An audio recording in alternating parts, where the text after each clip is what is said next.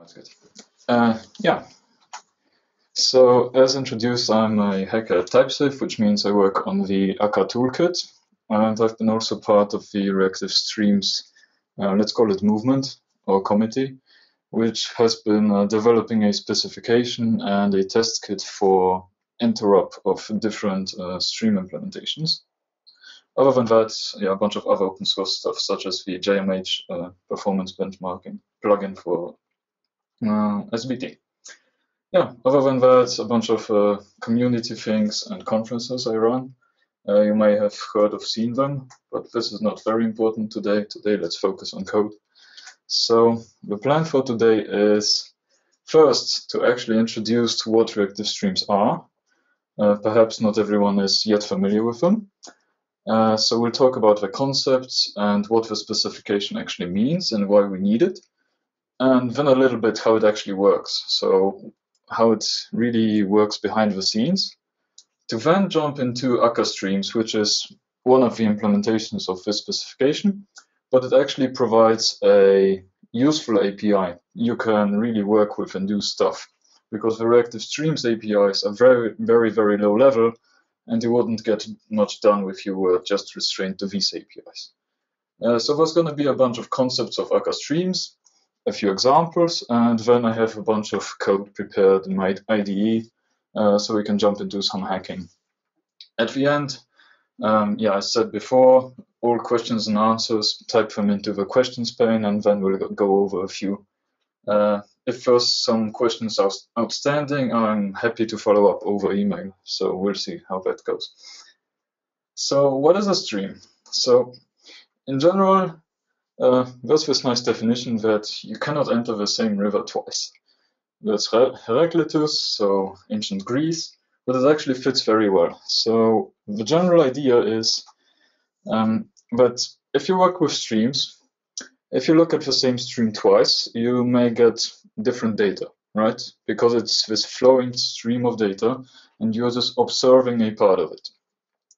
This, of course, depends uh, on the type of stream because there may be streams which are backed by a collection, right? And if you observe a stream from a collection, you may always get the same elements, right?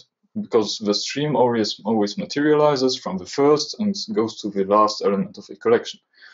But you cannot always do that, right? If you read from a socket, for example, or I don't know, watch a live uh, video stream, and you don't buffer stuff, you may not be able to go to the beginning of time to see stuff. It's a live stream most of the time. So let's talk about reactive streams. Now, reactive is a big word, of course, recently, all over the media and internet. But what do we actually mean when we say reactive streams? Because it's a very precise definition, at least in the specifications terms. So, of course, we're talking about stream processing, so some number of elements will be going over a bunch of transformation steps, and then you get the uh, end result. But now the key features come in. So it has to be back pressured. By back pressure, we mean, um, for example, if you are processing um, or generating some, some a huge number of data, and someone has to count a very complex algorithm on top of that data. Perhaps that consumer of your data, which is easy to produce, is not able to keep up with processing this complex algorithm. So this is where backpressure comes in, where the subscriber, the, the receiver of this data, is able to signal to the publisher, so the generator of this data, that it can't keep up. And we can do different stuff about that. And it has to be asynchronous. Well, um, it doesn't really have to, because the specification is broad enough to allow synchronous execution, but it is really aimed for asynchronous and possibly even distributed, because it's uh, possible to implement this over the network. Um, yeah, processing. So this means, for example, in Akka, we have this famous mantra that never block. And this, of course, plays very well with reactive streams because you never really have to block on, I don't know, some call because someone is taking a long time to process an element. Instead, you may be forced to be backpressured and stop producing things, but that's not the same as being blocked by some blocking I.O. call. And then the, the key feature of this thing is that it's standardized. So by standardized, we mean there's a number of implementations and everybody abides the same protocol. So here's the summary, backpressed asynchronous stream processing in a standard. Um, if you want to read up on the standard and the technology compatibility kit which I implemented, there's the Reactive Streams webpage and there's um, yeah, all the background behind it. So go ahead, check it out. Okay, but who is actually running this? Uh, of course, there's us, Typesafe, but there's also other companies behind it and backing it, such as Netflix with their RX libraries, I'm sure you've heard of those, and other companies such as Pivotal and Red Hat uh, with their implementations of the same specification. And now to the to the key, what this uh, specification gives us. So for example, if you have this pipeline where different elements are reactive streams, Rx, Akka, or reactor, thanks to everybody abiding to the same protocol, you're able to connect these without any kind of, uh, well, hard work, let's put it this way. Because they all abide the same protocol, they are able to back pressure from end to end. So in, in this graph example, reactor is able to back pressure the Akka system, the Akka system can back pressure React Rx, and Rx can back pressure some reactive streams publisher. So this is really huge. And one thing to note is uh, that the API I'm going to describe right now may not be the easiest to implement. And in fact, it's not really aimed at everybody implementing their own reactive streams thing. It's more aimed at if a database driver or I don't know, a video processing library is able to expose such interface, um, most users will just use those. So it's for this interop, but most of the time you won't be implementing those directly. You may be using Akka to consume this, or you may be using Reactor to consume this. Uh, here I I've got an example how this all fits together. So each line uh, you can see here is actually a different reactive streams implementation, all embedded in a uh, Ratpack web server. So you can see we start with an Rx observable, then we go over reactive streams into a Akka source, which then maps these bunch of numbers to a string. And then we go over to reactor, which does a different thing. And they all connect together and work together to produce, produce the result. So in essence, we're trying to fight back uh, lock-in because I mean, if you can't connect one API to another API, it is some form of lock-in.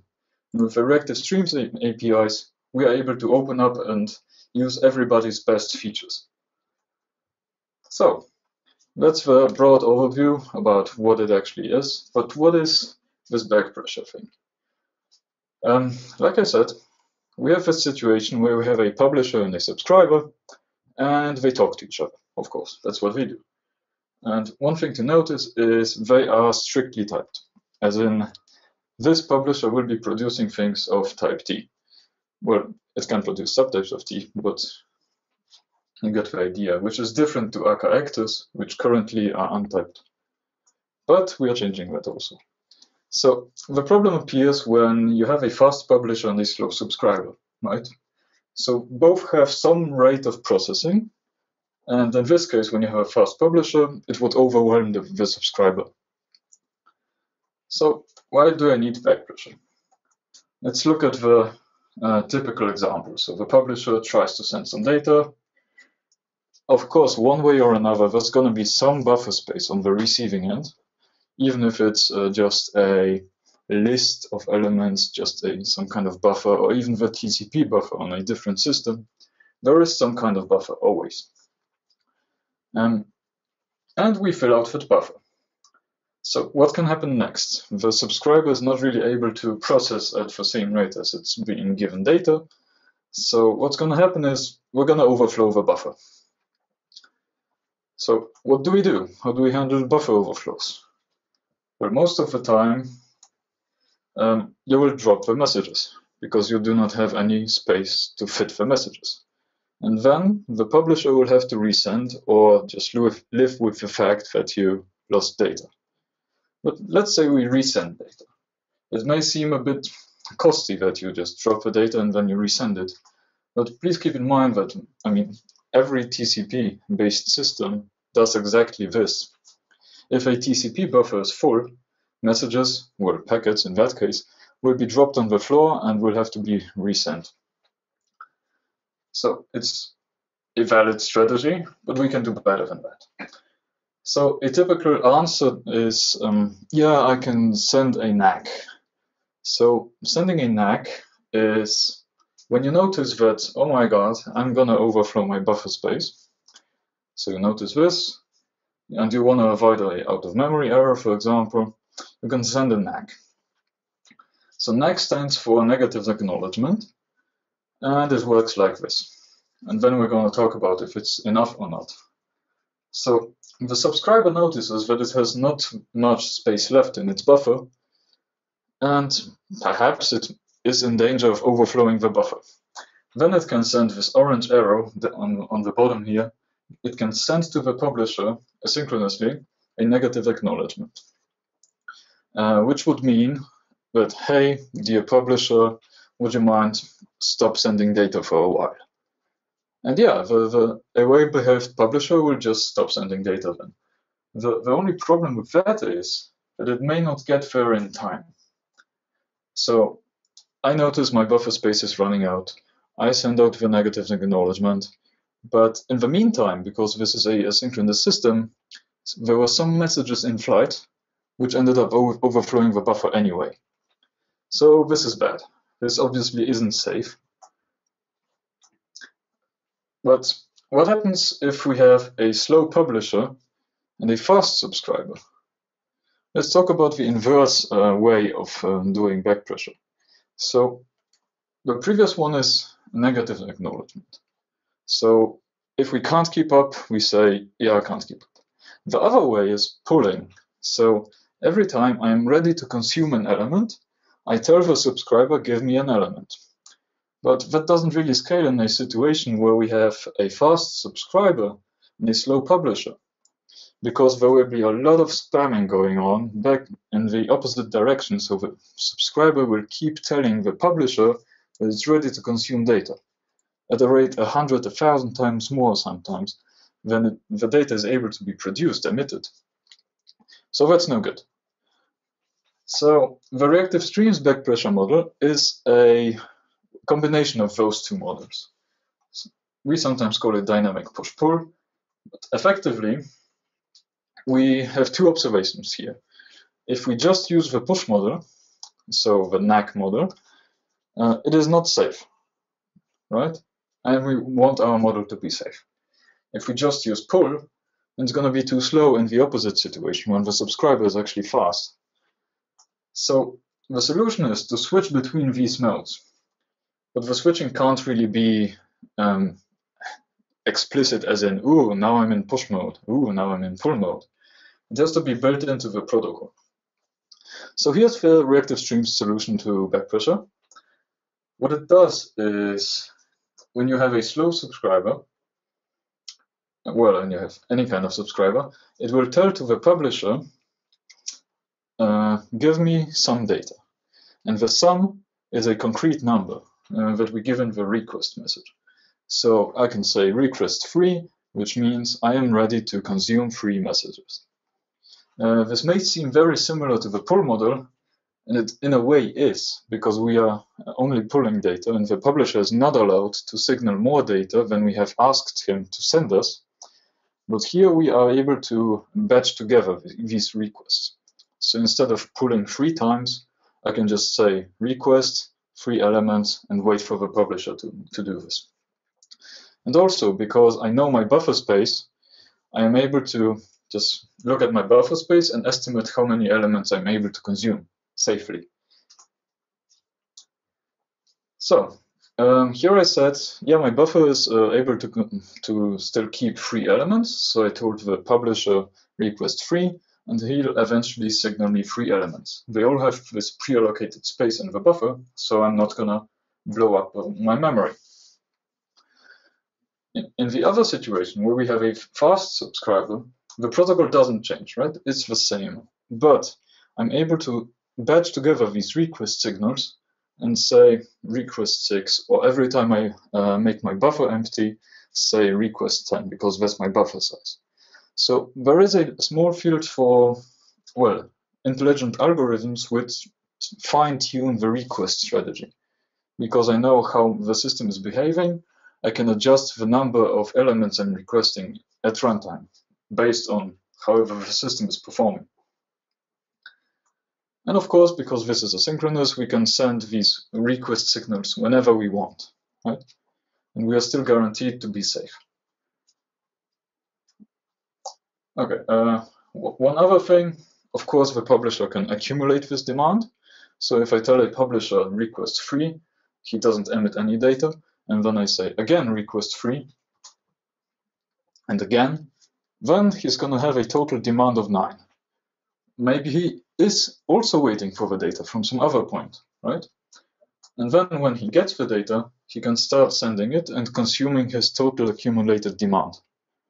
Because we never signal more than we can just uh, be signaled, we are still safe in this case, on the subscriber end. Because we won't be signaling more requests than we are ready to consume. So once we have sent request my entire buffer size, we just wait until we get some signals up from upstream. So we're safe in this case. Um, there is a special case, and in some cases you perhaps really know that the subscriber will be faster, like way faster than the publisher. And the reactive stream specification, we um, allow for requesting long max value. So this is a huge number and not really able to be saturated. And this makes, uh, well, allows the publisher to go at max speed. In some kinds of systems, it may be useful. So the spec doesn't forbid this. It's still fine. But you, you really opt out of back pressure in this case, right? So you have to understand what you're doing once you request max value, because there's no way out after this one. Um, let's look at the pipelining in reactive streams. So imagine you have three stages, because each uh, stream is composed of different stages and each does its own thing to a processing processed element. And let's say on the left, we have the source, the publisher of data, and on the right, we have the sink, the, the subscriber of some data. And in the middle, we have something that is both. In the reactive stream specification, we call this a processor. So it is both a publisher and a, and a subscriber. So let's imagine um, a typical use case. I'm about to start processing this stream of data, but I didn't yet uh, generate demand because maybe that subscriber is starting up, it needs to allocate some stuff, but the publisher is maybe ready. Or maybe it can prefetch some data to be able to then more swiftly respond to the first request it gets. So this is an eager, an eager publisher. It starts up, loads up data, and then it waits for request, so it can again load up data into its buffer to be ready to signal as soon as it gets some demand. So it's drawing some stuff in its buffer, and then the downstream is finally ready to consume. We can then signal, yeah, request 5 to the processor in the middle. It, then doesn't have to propagate the same demand. Um, it depends, right? It depends on how the processor is implemented. It depends on its logic. But yeah, it propagates the demand. And then we are able to signal the four or however elements we had preloaded. In this case, we signal four elements because this, this was the number of elements preloaded in the publisher. So we have a demand of two still available. We got six, signaled four, two still left.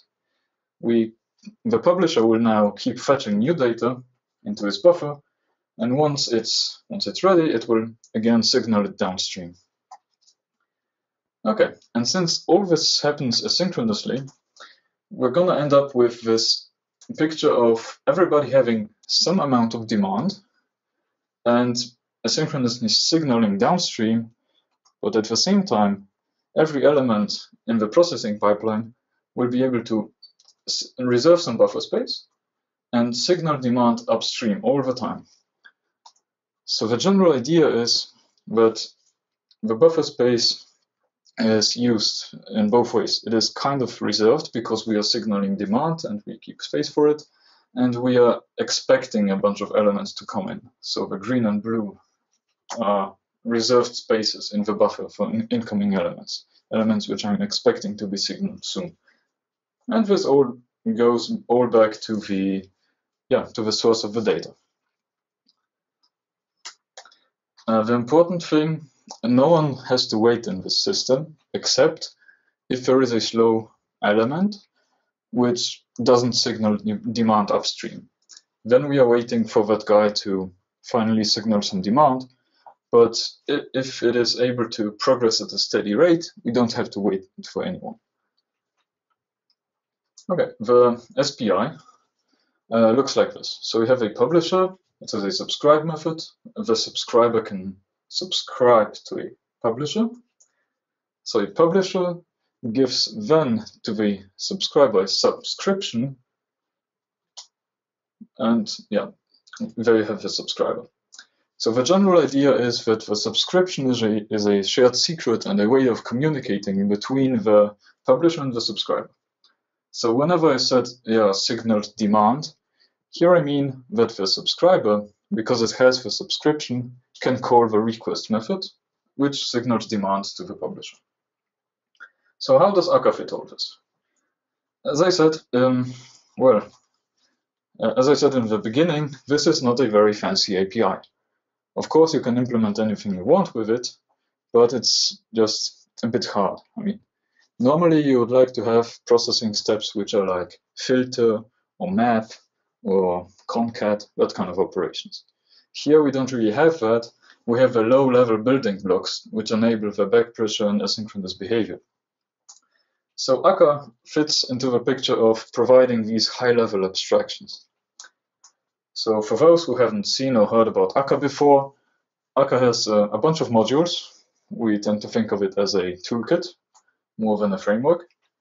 Uh, and yeah, it's aimed for high performance concurrency and also clustering and distributed systems. So that's our goal.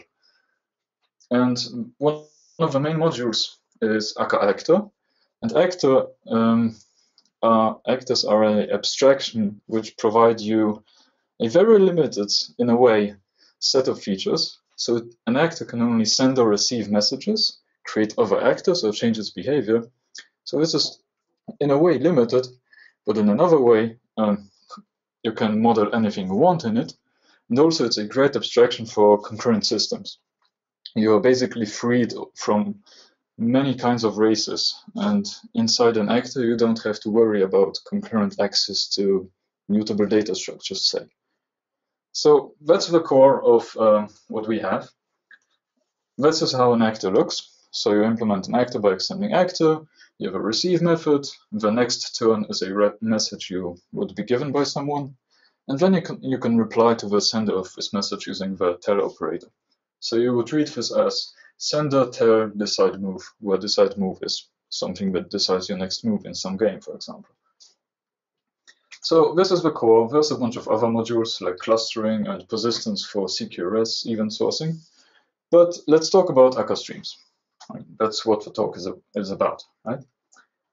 So um, the design goals are to be superiorly reusable, performant, and yeah, um, specifically, we really care about these bound buffer spaces. Maybe you heard me uh, oh, yeah, seconds ago ranting about buffer space. This is because we really care about this. Okay, now the question is, why do we care about buffer space? So imagine you have this, hmm, yeah, normal web server. It may be even a chat server. And then imagine, you know, that you're able to process um, this request using a stream pipeline, because this is actually how we expose in Akka HTTP, an upcoming module, uh, how you process TCP connections and HTTP connections, right? So imagine you are able to model and exactly reason about the buffer space which will be used by every stream in your system. So in this case, I have one connection and it's never using more more space than uh, than shown in the graph. Normally, uh, maybe it would be more wonky. Maybe it would jump up and down and cause a lot of GC. In our case, we have these pre-allocated buffer spaces and we just reuse them. So there's going to be a more stable memory-wise performance. And you can estimate how many connections am I able to consume on this server if it has yeah, 800 megs of RAM. Okay, but now to the API. So the API uses um, slightly different wording than the reactive streams one, and this is also by, by choice, because we are modeling a bit higher, higher level abstractions, so we need better words for it.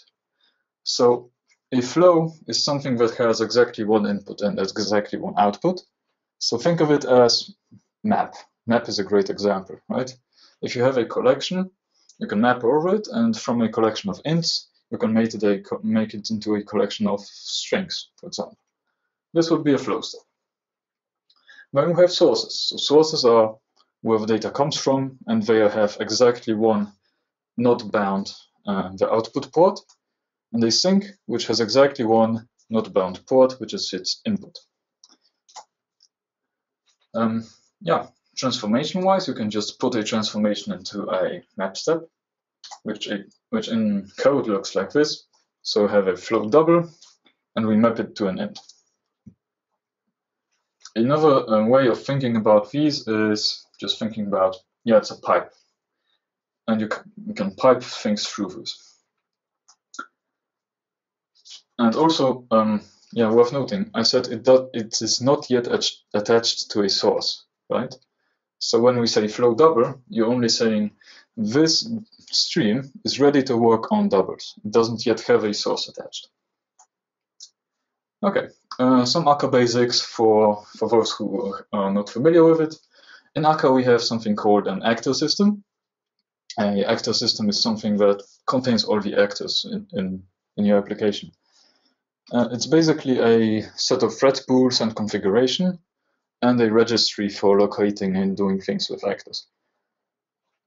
Um, and then we need a flow materializer. So the flow materializer is the guy who is responsible of taking a flow description, a graph description of this processing pipeline, and turning it into a running uh, thing that is actually doing stuff with this data.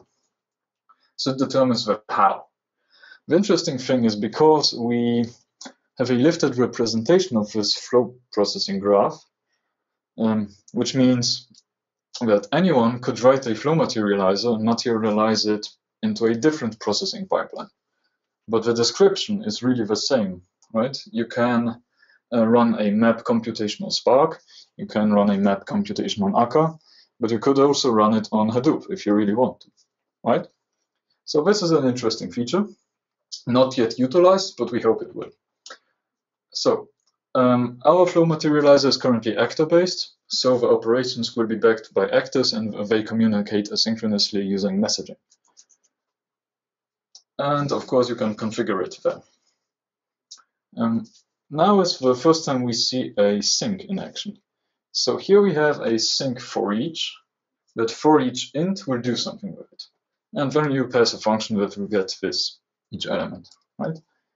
And then uh, the simplest way to the hello world of Akka streams is a source, one, two, three, which will produce these elements, one, two, and three, and then you run it to the sink, which will effectively just print it.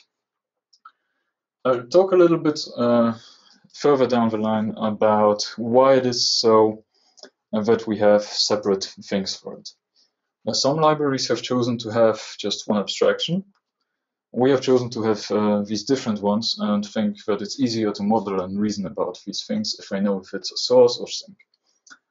And how does it actually materialize? It uses the implicit flow materializer uh, for non-Scala people.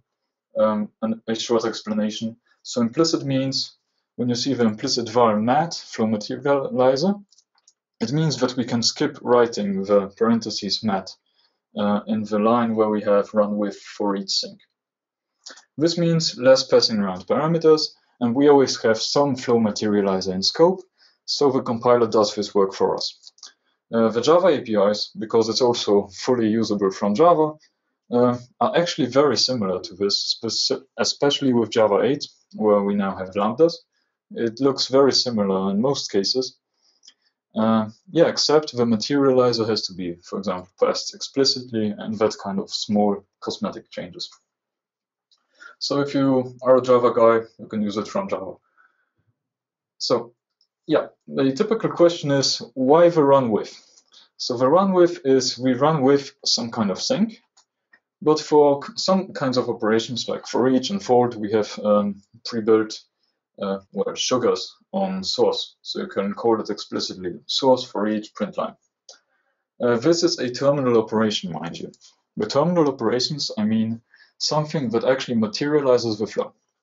So it will start running at this point when you write the for each.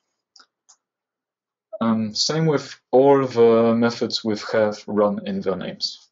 We are currently in the process of renaming these. So for each will be called run for each, and fold will be run uh, called run fold. So whenever you see a method with run in the beginning, it will materialize the flow.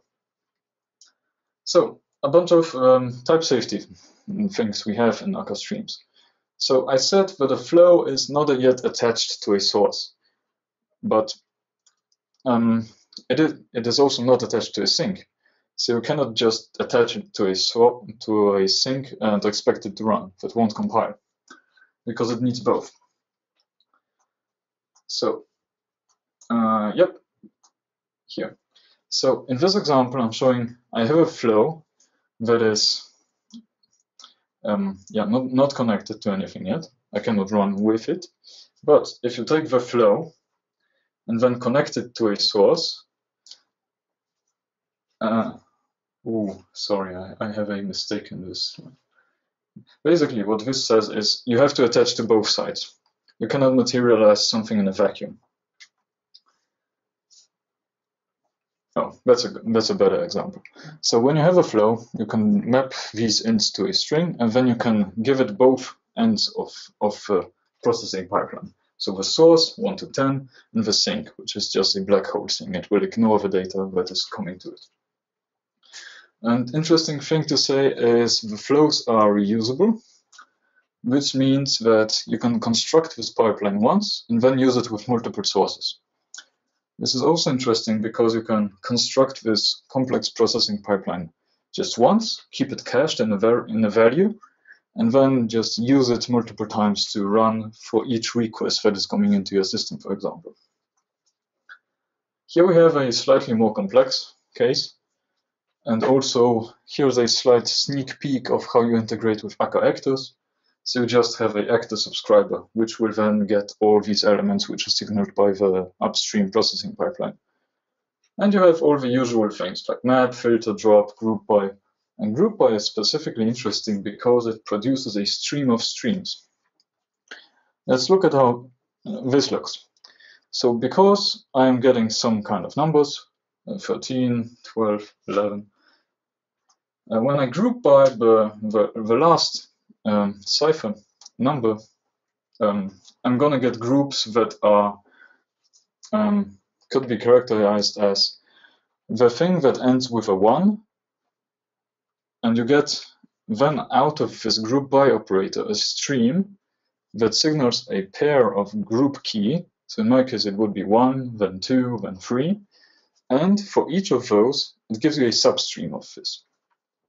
So then you can consume the substream or cancel it if you're not interested into in things ending with the number two. You can just cancel the substream and just consume those you want to consume. This is very interesting because um, normally you would expect collections here, right? But in Streamsland, you really have to stop thinking about collections and just streams because a stream can be potentially infinite, right? And it cannot easily fit infinite elements into memory, at least not on current computers, right? So this is why everything is a stream, and you can apply stream operations to each of those substreams and group by again or do different things. Okay, yeah, then you can consume the substreams and do different things with those. But uh, the thing I want to talk about today is graph processing. So this is a rather unique thing to Akka streams. Uh, most of the other libraries are not so focused on complex graph processing as we are, I think. So in Akka streams, this is called a flow graph. So whenever you see these F1, F2, F3, F4, imagine that is a flow. That is just a linear stream, right? Um, but what about these broadcast and merge things? These are what we call fan-in, fan-out operations, or also just junctions. So um, let's look at this example. The simplest, well, not simplest, but very simple graph, and try to model it. And then we'll look into how the Akka Streams DSL for graphs actually works. So also the design goal of this DSL is to, when you have your design session, you, you draw some stuff on the whiteboard and basically it'll end up more or less like this, right? It's going to be circles, it's going to be arrows. So the design goal here is to make the circles graph elements and make the lines normal flow elements. So let me help you out with some coloring. In this case, every F, so every linear processing is mapped to a flow, and they do different stuff with types. For example, F1 will take the input and map it to an intermediate value. Then F2 and F4 will make these intermediate values into some enriched values. And then we can just filter them in F3. Um, yeah, and these are the linear operations that we're going to use. Now let's look at the graph operations. So we start this by making a flow graph, and then we import the flow graph implicit to make this squiggly arrow operator available. And then we simply connect these. So when you notice the bcast, which is broadcast, and merge things, we just first define them. So we have a var bcast, which is a broadcast of intermediate values. Broadcast means every subscriber will get the same value that came into this broadcast. And then we have a merge, which will just take from one or the other incoming stream and produce this outcoming merged stream. So we declare those, and then we use them. So when you look at the graph on the top, there's F1 coming into a broadcast, and from a broadcast we have F2 and F4. And in the DSL you can see it's pretty similar to what the graph looks like on a whiteboard. So that was an explicit design goal, and I think it's I think it's nice. Um, I'm curious to hear your opinions about it. Feel free to share them. So I, I said this previously about flows, but let me reiterate that once you have a flow graph, it is immutable and safe to share between threads. And actually, we're gonna we are aiming to make it uh, possible to share between uh, nodes and clusters, because it is just a description of how we want to run things. So in theory, it could be freely shareable across clusters. But we're not there yet. That's a future plan. So uh, we have 20 minutes, so right on time. So I'm to jump into some examples. So let me open up IntelliJ here. Not this one. Not this one. Yes, this one. So um, I have a few examples prepared, and let's see how uh, how much time we have left um, after a few, and then we'll decide if we're going to jump into Q&A right away, or if we're going to do an example more. So to, reiter to reiterate how we use this thing, uh, you have an actor system, a flow materializer. I import a system dispatcher just to have something to execute futures on. Well, that's uh, not really a Akka specific thing, that is a um, uh, Scala future specific thing. So how do we want to do this? Let's have a source and let's see what kinds of sources we can have. So sources can be from actors, that's for props. A source can be made from a graph actually. It can be a timer source, which is the initial delay, interval, and tick thing. Then we can have a source from a future, an iterable, or a factory of iterators or we can simply consume a reactive streams publisher. in our case, let's do something funny. Let's say hello. Let's say hello world, and and to list it. So, so now it's going to be a list of characters. What can we do with this? So there's a number of different things. So for example, we can uh, drop a bunch of elements, filter, group by, you, you, you uh, saw that one already, but we're gonna do the usual traditional thing. So car, so the incoming thing is a car here, right? And then we can say C to upper, yeah, or Scala syntax wise, we can do this. Means the same thing. Um, yeah, so what if I want to add some exclamation marks at the end of this? We have an operator for that, it's called concat. And concat means take this first source, drain it, and then once you're done draining that first source, start draining the second one. So in our case, we can start draining same thing.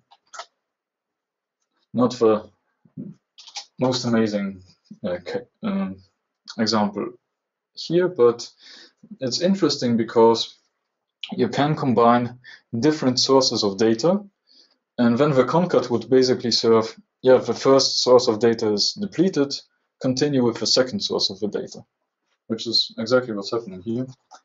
And then we can maybe first start with the usual uh, more both way.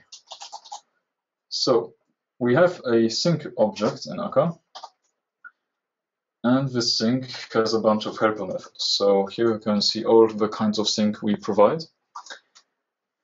Um, so for example, sink head means the first element that goes through the entire stream. In our case, it will be an age, so not very interesting. So let's use a for each. Actually, fold would be interesting. So fold means take some value, and while the stream is giving you new values, accumulate them into a new new value. Actually, fold zero accumulator and car. Right, so that's the car, that's the accumulator, and we can say acc plus c. So what does this actually yield? So because this is a run with, it will materialize uh, the flow and run it. Here the implicit flow materializer is used from line 13, right? And the value will actually be a future future of string. Future of string. I say Scala concurrent future. Right? Because we don't really know when the stream is going to finish, if it will finish ever, right? And then we can, on the value, perform a map, or maybe on complete, on complete, um, text, print text, and we can just move the shutdown code I have under here into this guy. Now let me fire up compilation.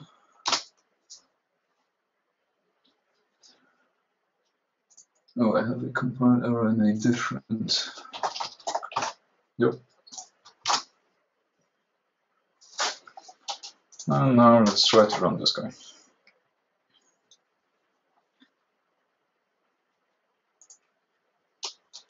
What? Um,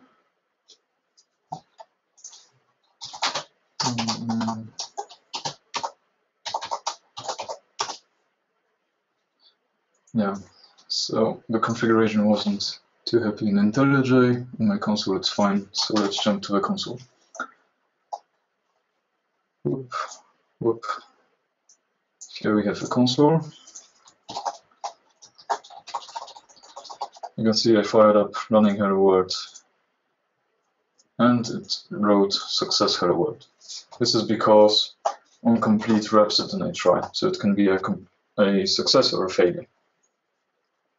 Okay, but let's talk about graphs. Here I have a simple graph, which is basically the exact same thing that uh, we had before uh, on the slides. So time-wise, actually let's jump to the, or just simply show how you can easily write this one.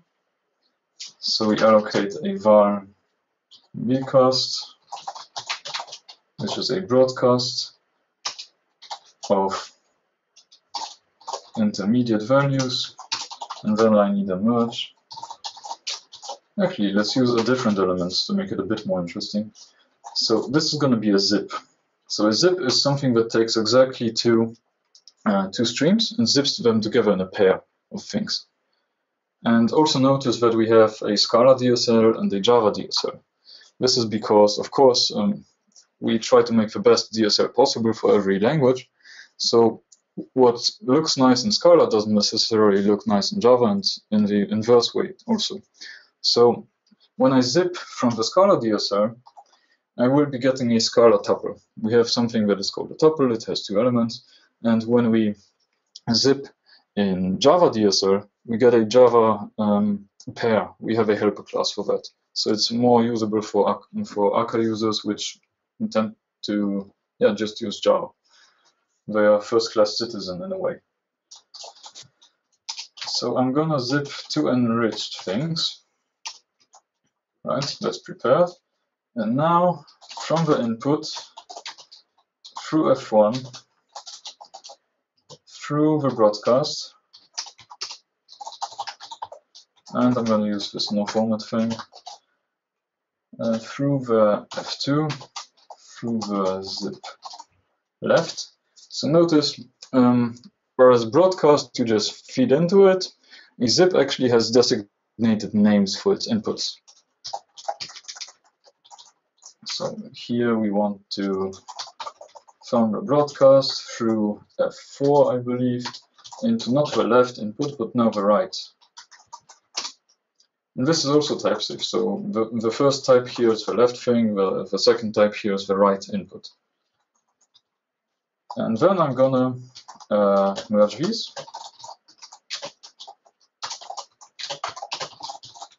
Merge. Oh, sorry. Wanted to show. Sorry, sorry, sorry. I meant to say zip out. So we have the output of this um, zipped element, and I have to sink it into some some sink. So here I had a publisher sink, which exposes a reactive streams publisher for consumption for anyone who wants to consume it. But uh, yeah, it was just a enriched, whereas now I have a pair of enriched elements. Okay, that's already one element more to, to know about. And also, um, while we are here, let's talk about map async. Because many of the of the well, current APIs you, you're working with expose futures, right? So they expose a future of a result, not just the value. So here in the intermediate trait, we have a enrich or an enrich async. This is aims to yeah, act like a maybe HTTP call or something that has to go out to something and eventually gives you back the result. So here I'm using in F4 a map async operator, which works exactly like map, but is able to extract the value from the future and pass it along. So we pass on the element once the future succeed, successfully completes. If it fails, we pass along the failure of the stream. And yes, this is ordered, in case you're wondering. There's also an unordered case, because if you're doing multiple calls, everybody is waiting a little bit uh, before they complete this future. Maybe you don't care about order, you just want to proceed as fast as you can, so you want to generate demand, demand as fast as you can. The way to generate demand is to clear out processing, just keep processing stuff. So you want to process not in order, but unordered as fast as you can. So that's small little trivia that may be helpful in your processing pipelines. So the next one I want to show you is actually exactly, um, well, not exactly, a improvement over what we saw now. And this is going to be, well, it's, it's okay, I have this left-right, this is kind of meaningful, especially for tuples. But when I have a person, I want to map into a zip into a person, how do I do that? So there's a bunch of ways to do it. But first, let's look at a at the simple case. So I can prepare my zip to be prepare my class here. It's going to be a simple one. And my zip can now be a zip width. And zip width is something that takes a function that will perform the zipping.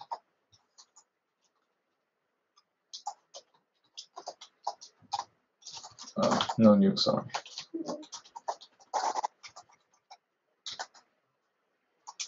Yes, okay.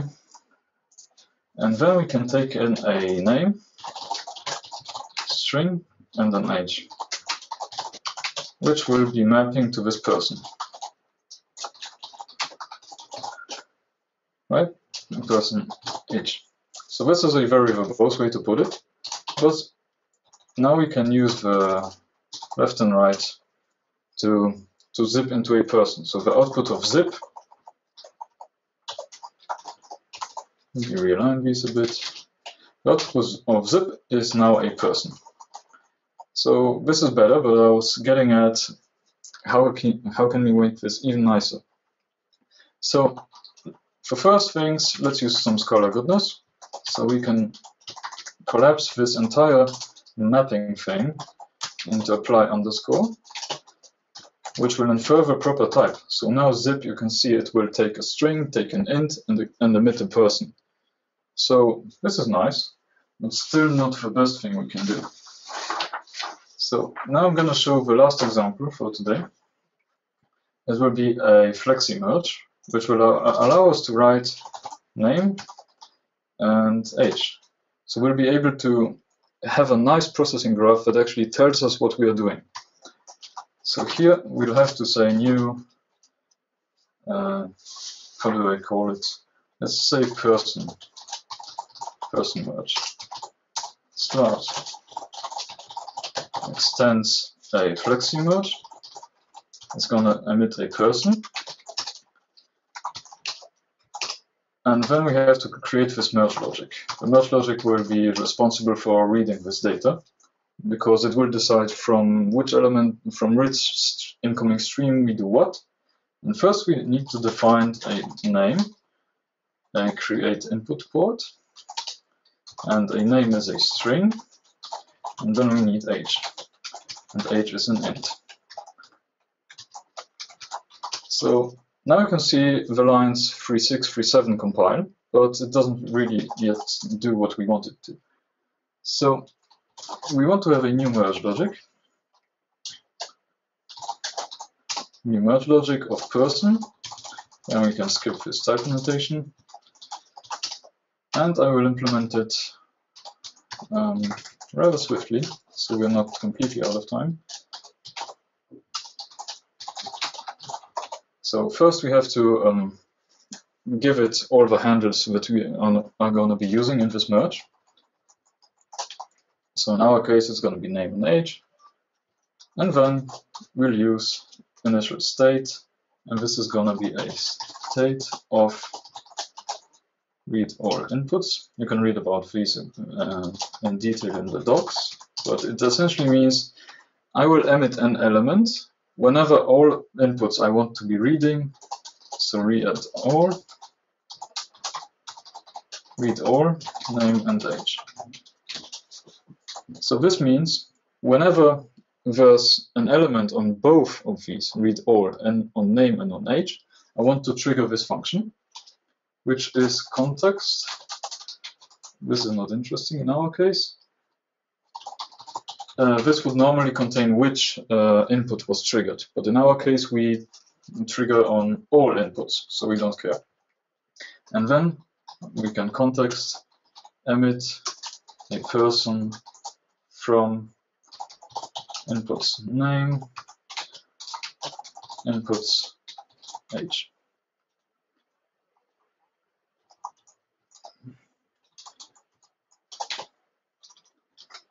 And you have to return a same state because this uh, state helper is actually a state machine. So whenever you get to emit an element, you can become another state. For example, I am now done and I will be completing this uh, stream. In our case, we stay in the same state. So this is how easily you can define your own merges. And there's also a helper for uh, fan out elements. So that one is called a flexi route. Now let's jump back to slides and wrap up with questions. So to wrap up what we did, um, we talked a little bit about non-blocking back pressure, how we do complex uh, graph processing pipelines, and a bunch of custom elements. Uh, what we didn't explore, but there's really a load of interesting stuff to see here, is how to put in explicit buffering, how to integrate with Akka actors if you have existing systems or just need full control over uh, what actors give you. And time-based operations, so take, while, two seconds, that kind of operations. Um, what else do we have? F future plans. So the, the current state of Akka Streams is that we are stabilizing the API, and we are aiming to release a 1.0 release um, yeah, maybe early next next month, not early, next month. Um, and of course, we are working on documentation, which is now getting a, a Java version. Then we are improving the testability. We want to provide a test kit, uh, similar to how you have test probes for Akka uh, normal, uh, Akka actors. And the most um, important thing to remember, Akka streams have not yet been performance tuned so you can expect a lot better performance because we have a bunch of um, known bottlenecks and known to be solved uh, bottlenecks. We just have to solve them and we know how. So it's going to be way faster. And when you play around around with it, you may actually think that it's already fast enough, as uh, some some recent blog posts uh, show on the interwebs. That was quite interesting. So other than that, um, it would be great, and we are planning to do this at some point to provide some visualization of these stream processing graphs. And there's an interesting uh, community project by Tim Harpner. You can have a look at it. I, I, I found it really awesome, so you can have a look. Uh, here's a bunch of links, and I wanted to um, yeah, direct you to our homepage where you can get a bunch of free ebook, ebooks if you're interested. Uh, with that, I think we have a little bit of time for questions. So I'm not sure how we're going to tackle questions. Yeah, great. Thank you, Konrad. Okay, cool. Uh, yeah, uh, th thank you for a wonderful webinar. Thank you. Um, so, so far I see only uh, uh just a few questions. So um, uh, I'll try to read it. Uh, the first one from Thomas um, do I understand correctly um, that you don't have to manually specify the request of n back to the publisher?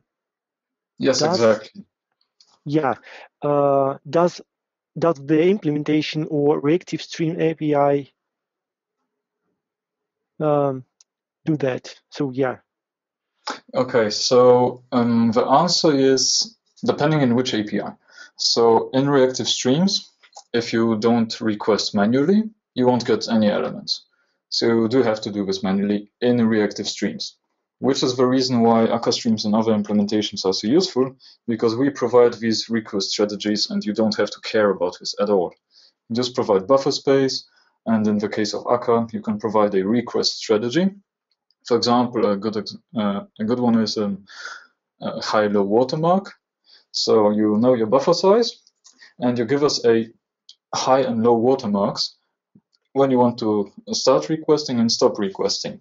For example, if if you reach a high watermark of, of elements, so you have, your buffer is 10, a high watermark is, for example, 8, you will stop requesting, so you can drain a little bit. And when you reach a low watermark, you will start re requesting again. But this is done transparently for you by Akka.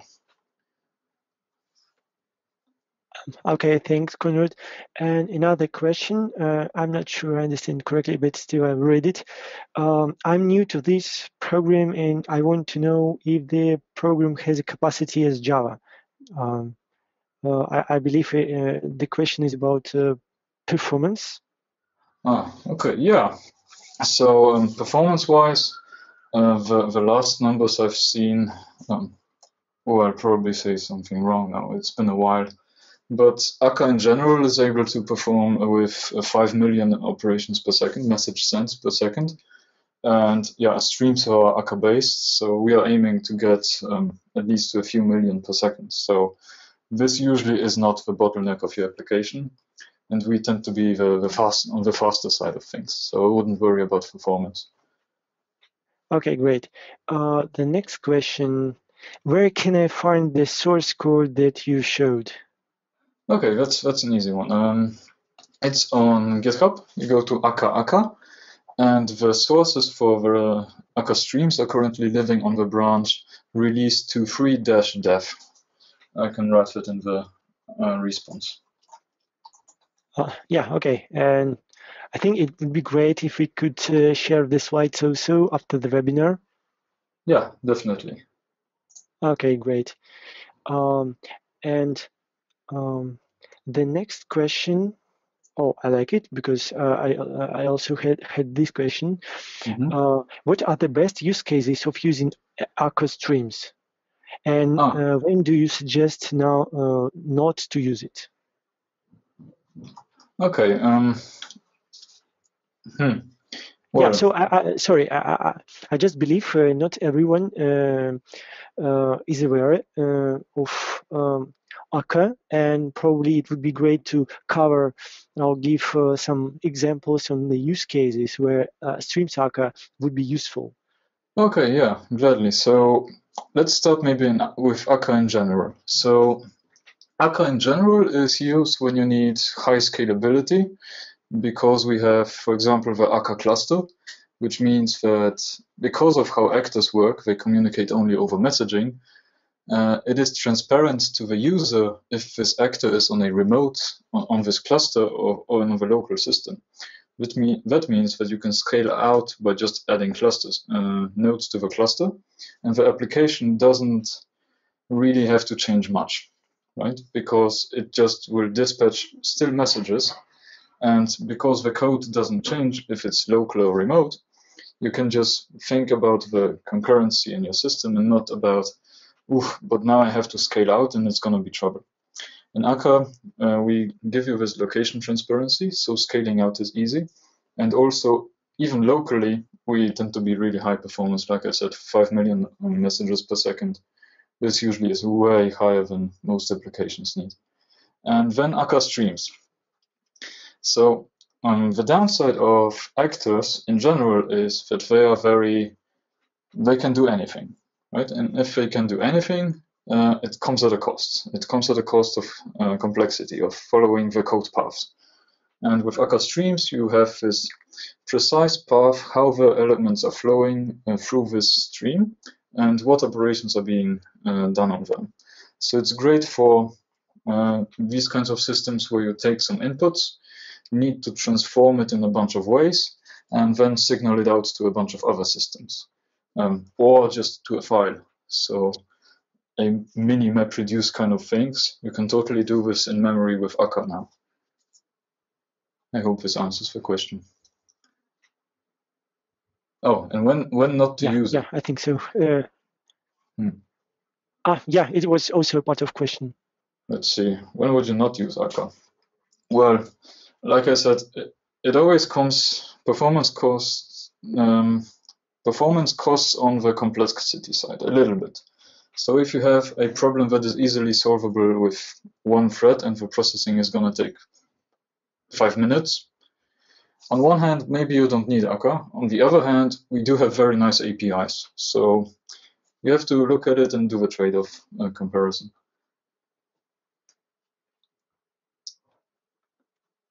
Yeah, okay, great. Uh, next question. What if I need to change the state of a source using feedback from a sink? Example, Kafka source, depending on sink output, reset Kafka offset. to an earlier offset. Is it? I'm trying to find the question so I can read it because it was a bit complex. It's from Mm. Evan. From Evan. Ah, hi Evan. Let me read it again slowly. What if I need to change the state of a source using feedback from sink? Example, Kafka source depending on sink output. Reset Kafka offset to an earlier. So that's like a, that sounds like a replay or something like that, that you need to reset the offset to something previous to, to replay these values. Sounds like that to me. So how I would, how I would model this is, um, I have not shown this today, but we can uh, do a graph, a complex graph, and your graph would have some feedback input. And this would be the feedback you can signal, hey, my source, can you please go back a bit or something? So a source uh, can be inside a graph. And then this graph can be as complex as you want. It can have multiple in, uh, feedback inputs, but then you can expose it to um, some other parts of uh, just as a source. So I, I think I would just model it as a graph and put the feedback as a explicit input. It doesn't have to be backpressured, for example. Hope this helps. Yeah. Okay. So next question is quite uh, short message delivery guarantees. And I believe uh, it relates to the uh, next question also, how error handling is implemented in Akka streams. If one flow node fails, will other nodes eventually know about that?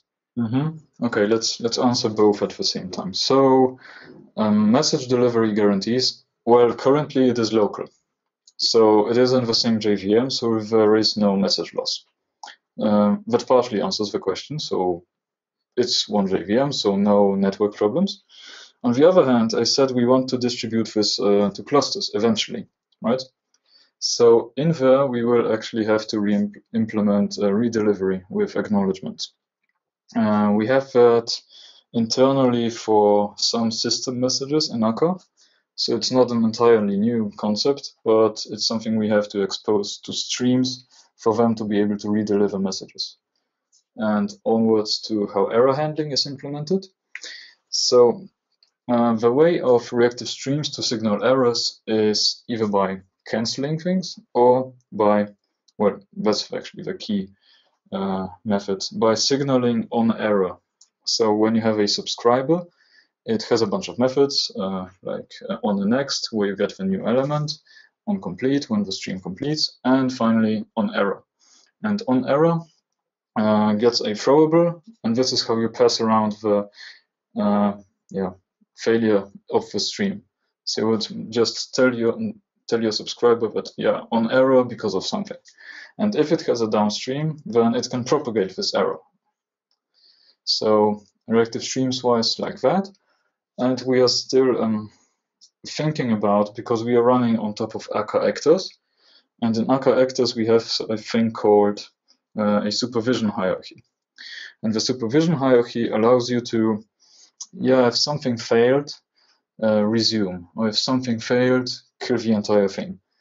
Um, so we have an ongoing discussion about that, how to integrate it with streams.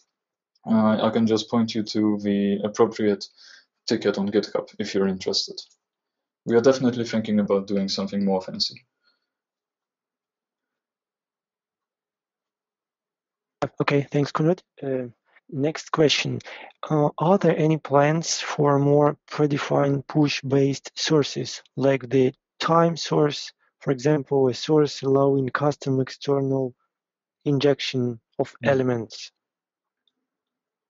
Although, although they might not be quite in line with reactive streams pro protocol. hmm Um, actually, they are, they are quite in line with the protocol. Um, just um, we call those hot sources, and so you cannot really back pressure time. That's that's basically what it means.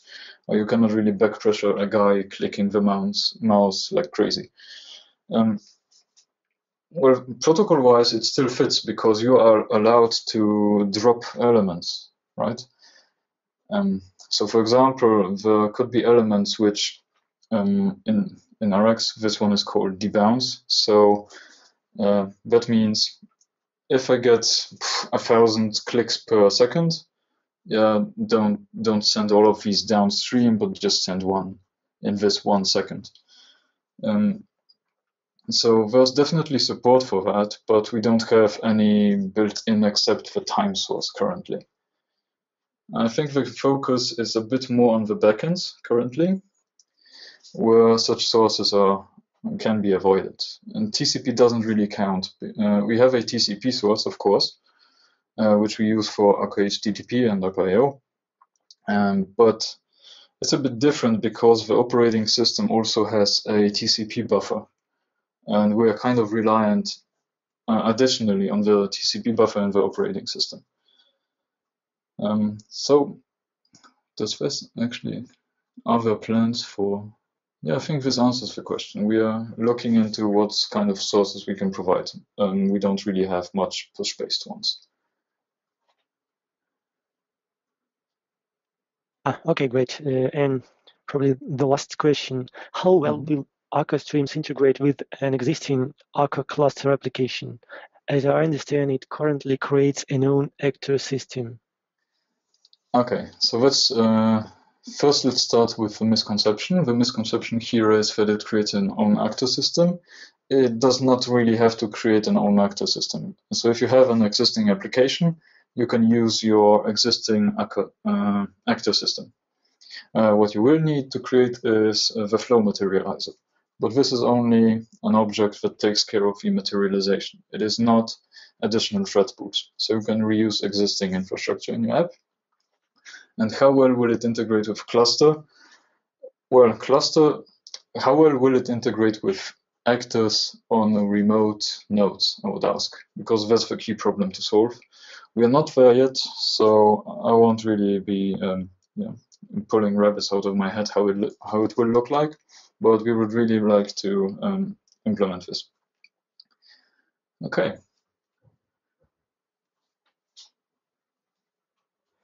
Okay, cool. Uh, I think that's that's all we got, and we covered pretty much everything. Um, well, again, thank you, Konrad, for your great uh, presentation. And we'll be sharing uh, slides in our blog. Mm -hmm. um, I think that's it. Uh, yeah. Thanks, thank everyone, everyone, for your time. Yeah. Yeah. Take care. Bye. Have a good day. You too. Cheers.